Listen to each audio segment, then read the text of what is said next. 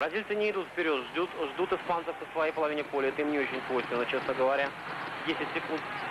Блестящие удары, блестящий гол. Ну, испанцы, браво! Браво! За 9 секунд до конца тайма. Ну, они мастера забивать на последних секундах.